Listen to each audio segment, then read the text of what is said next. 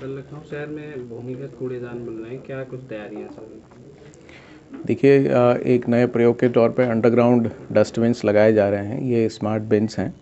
इसमें जो पूरा डस्टबिन का कंटेनर रहता है, वो अंडरग्राउंड रहता है और ऊपर केवल सतह के ऊपर केवल इनलेट उसमें होता है। ये स्मार्ट होते हैं, देखने में सुंदर होते हैं।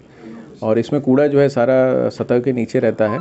और इससे ये फ़ायदा है कि एक तो कूड़ा फैलता नहीं है और कई बार जो जानवर कूड़ा खाते हैं या फैलाते हैं, उस तरीके की समस्याएँ भी इसमें उत्पन्न नहीं होती हैं। ये मैकेनिकल सिस्टम है कि लीवर के माध्यम से कंटेनर जो है ऊपर निकल के आ जाता है, इसमें बिजली की ज़रूरत नहीं है और उसको फिर हम बिन लिफ्टर के माध्यम से उसको जो है खाली करा देते हैं।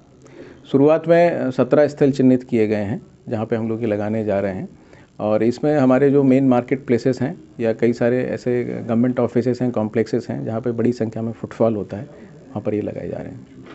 सर जैसे समस्या आती है कूड़ा भर जाता है तो वो कैसे काम करेगा सर उसमें? उसमें देखिए वो सेंसर है जैसे ही वो बिन फुल हो जाएगा कंट्रोल रूम पर उसकी सूचना प्राप्त हो जाएगी और तदनुसार उसको खाली कर दिया जाएगा।